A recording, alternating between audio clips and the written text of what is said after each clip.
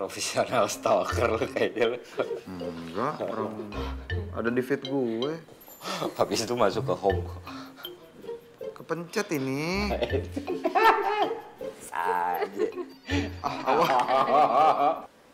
Ai. Halo, Ai. Ayo nikah yuk. Ay.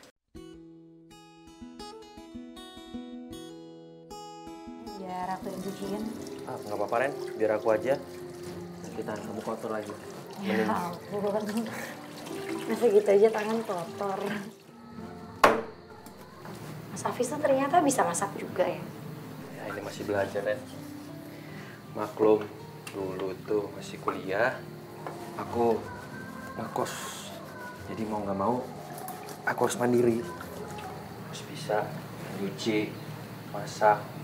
Ketika aku mau rumah tangga nanti, bisa semuanya. Jadi nggak keberatan untuk kerjain. Karena udah biasa. Yang membuat lu mantap untuk menentukan menikahi Mbak Rahma tuh apa mas? Ya karena gue yakin aja Gal, kalau bundanya anak-anak itu akan mendampingi gue seumur hidup gue. Meskipun Allah punya rencana yang lain sih. Tapi yang penting itu Gal, lo harus bisa jadi diri lo sendiri sih. Gue juga yakin pada saat itu. gue gua mau mau utarain perasaan gue sama Feby. Itu juga kalau lu izinin.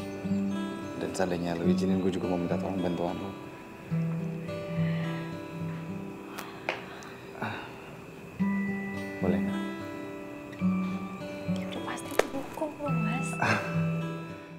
Nggak nyangka deh kita bisa punya konsep rumah idaman yang sama.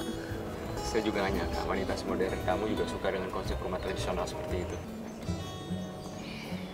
Dan aku pikir juga dengan konsep ini biasanya anak-anak bisa lebih ngerasa nyaman ya ada di dalam rumah.